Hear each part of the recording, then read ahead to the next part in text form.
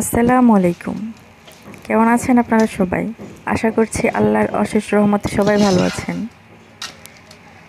যে যেখানে আছেন, সুস্থ থাকেন, ভালো থাকেন, এই দোয়াই করি। তো আজকে সকাল সকাল ব্লগটা শুরু করলাম। সকালে নাস্তার জন্য রুটি বানিয়ে নিচ্ছি।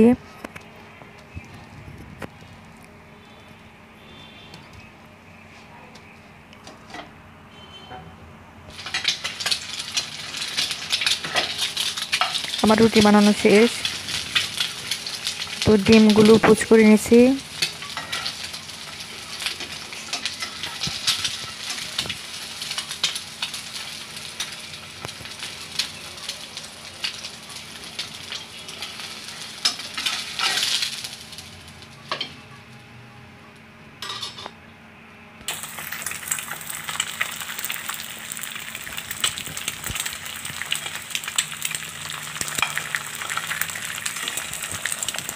আমি আমার ছেলের জন্য এভাবে ডিম পোস্ট করে নিই। কুসুমটা ভেঙে দেই। কুসুম দেখলে খায় না।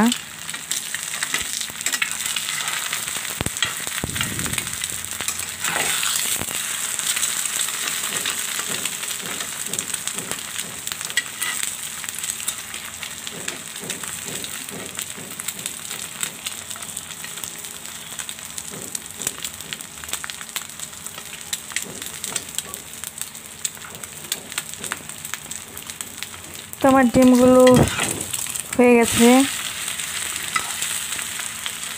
এখন নাস্তা করে নেব।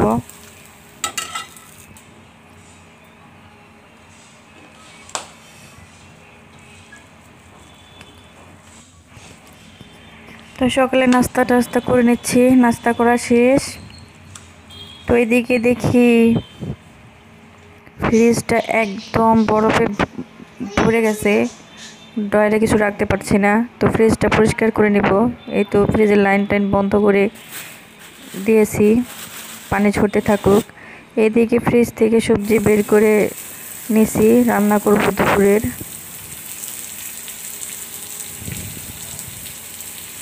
তো সবজি টুবড়িগুলো ভালোভাবে কেটে ধুয়ে টুয়ে রান্না বসিয়ে দিয়েছি।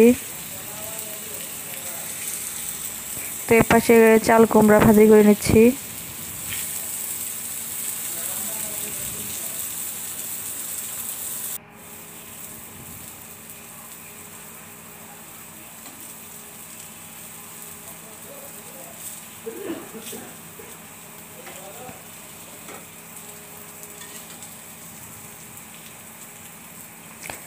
আমি সাধারণত চাল কুমড়াটা ভাজি করার আগে কেটে সামান্য একটু পানি দিয়ে ভাপ দিয়ে নেই। তাহলে চাল কুমড়াতে তেলও কম টানে আর ভাজি তাড়াতাড়ি হয়ে যায়।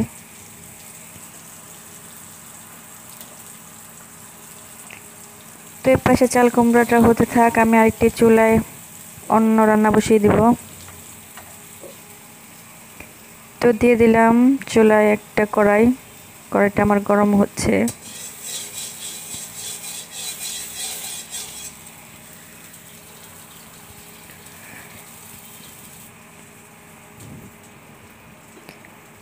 আমি আজকে পুঁই শাক রান্না করব, পাঙ্গাস মাছের মাথা দিয়ে।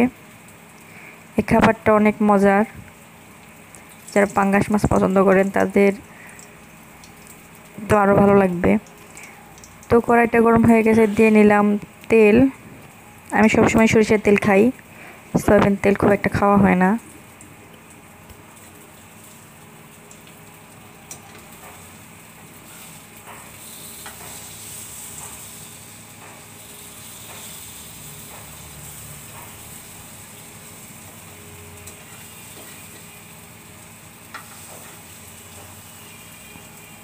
তোমার তেলটা গরম হচ্ছে।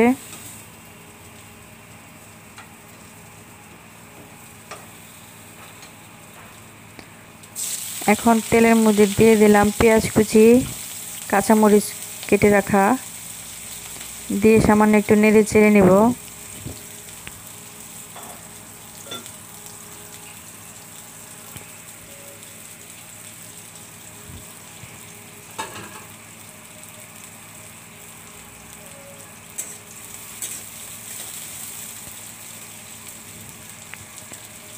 পেঁয়াজগুলো খুব বেশি ভাজবো না আমি। সামান্য একটু নেড়ে চেড়ে নেব।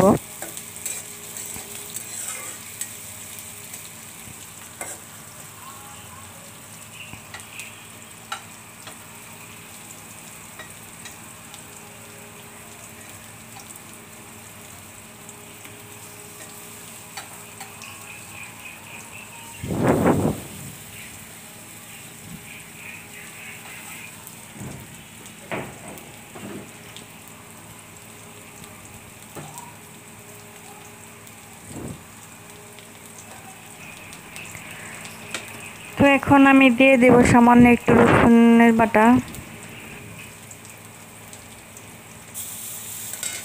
এক চামচ থেকেও কম হবে।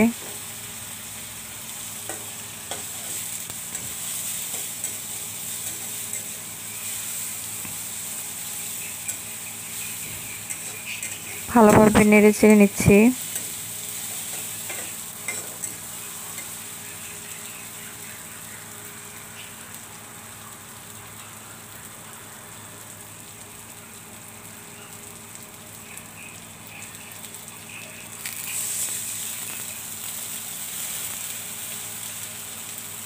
দিয়ে দিলাম সামান্য একটু পানি। এখন দিয়ে দিব গুঁড়া মশলাগুলো।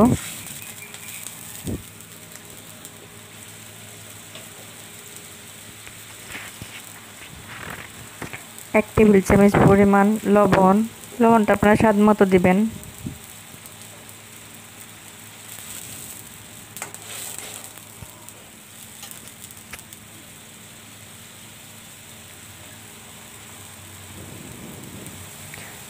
এক টেবিল চামচ পরিমাণ হলুদের গুঁড়া,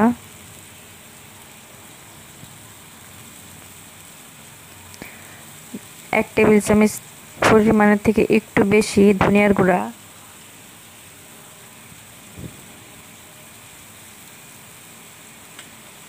এক চা চামচ পরিমাণ জিরার গুঁড়া। এখন এটা ভালোভাবে মিশিয়ে নিব।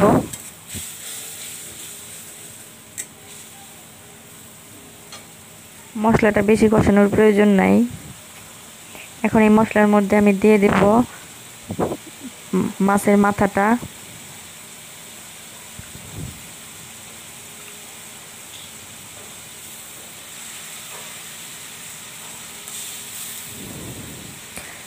তো আমার মাছটা বেশ বড় ছিল, সেজন্য শুধু মাথাটাই নিছি, আর কোনো পিসের, মাছের পিসের প্রয়োজন হয় নাই। তো আপনাদের মাছের মাথা যদি ছোট থাকে তো দু এক টুকরা মাছের পিস নিয়ে নেবেন।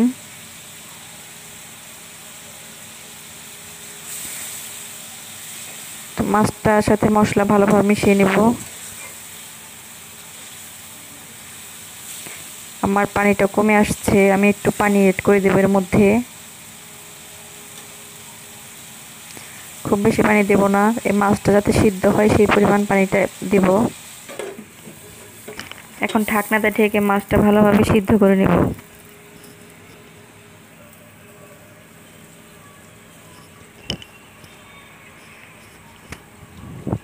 তো ঢাকনাটা খুলে দেখে নিচ্ছি আমার মাছটা সিদ্ধ হয়েছে কিনা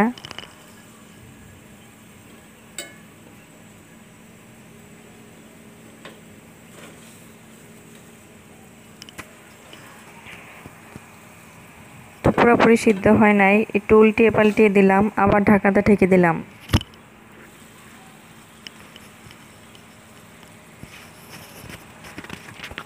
তো কিছুক্ষণ পর ঢাকনা খুলে নিয়েছি তো এ পর্যায়ে আমার মাছটা বেশ সিদ্ধ হয়ে গেছে। এভাবে আমি চামচের সাহায্যে মাছ থেকে মাথা থেকে মাছগুলো বের করে নিব।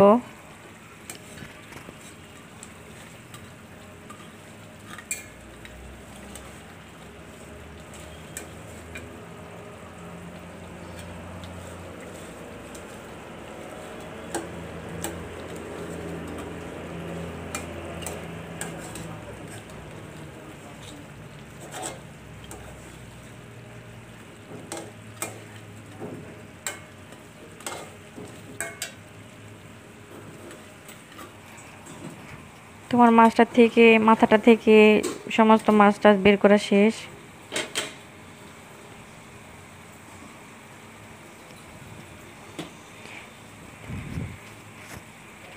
এর মধ্যে আমি এখন দিয়ে দেব পুঁই শাক। পুঁই শাকগুলো আমি কেটে ধুয়ে রেখেছিলাম। ছোট ছোট করে কেটে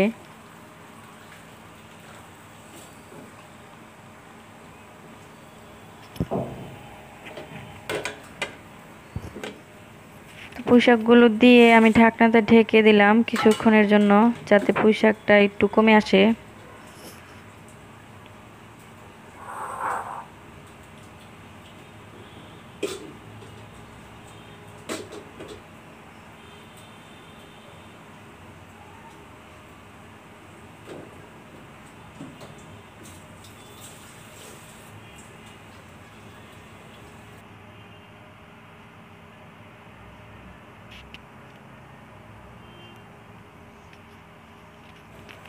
তো বেশ কিছুক্ষণ পর ঢাকনাটা তুলে নিচ্ছি।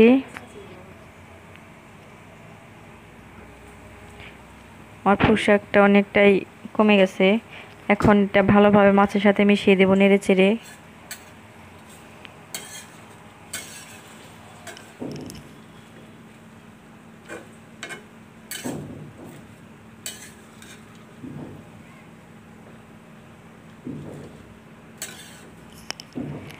এভাবে পুঁইশাক, পাঙ্গাস মাছের মাথা দিয়ে যে কোনো মাছের মাথা দিয়ে রান্না করলে বেশ ভালো লাগে।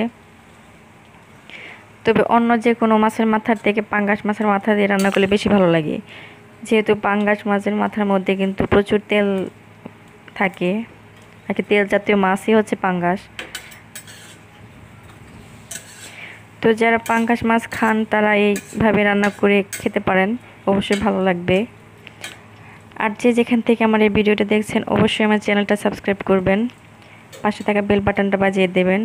অবশ্যই অল অপশনটা বাজিয়ে দেবেন, তাহলে আমার ভিডিও ছাড়ার সাথে সাথে আপনাদের মোবাইলে নোটিফিকেশন চলে যাবে।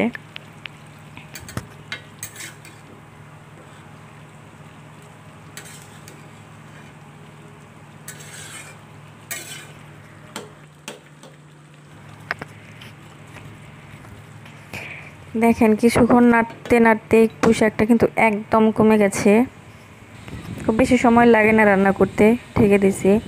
তো বাইরের জানালা দিয়ে দেখতে পাচ্ছি অনেক মেঘ করছে, বৃষ্টি হবে, প্রচুর বাতাস। আমি জানালার গ্লাসটা খুলে রাখতেই পারছিলাম না, এত পরিমাণ বাতাস হচ্ছিল বাইরে। গাছগুলো কীভাবে দুল খাচ্ছে দেখতেই পাচ্ছেন, প্রচুর বাতাস বাইরে।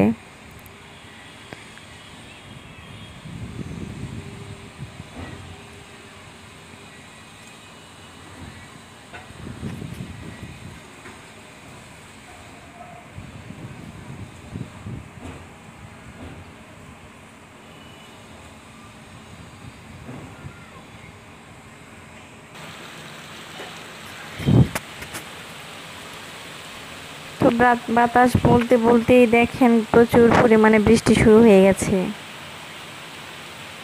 একদম অঝরে বৃষ্টি পড়ছে। ক্যামেরায় দেখা যাচ্ছে কিনা বুঝতে পারছি না, কিন্তু প্রচুর বৃষ্টি পড়ছে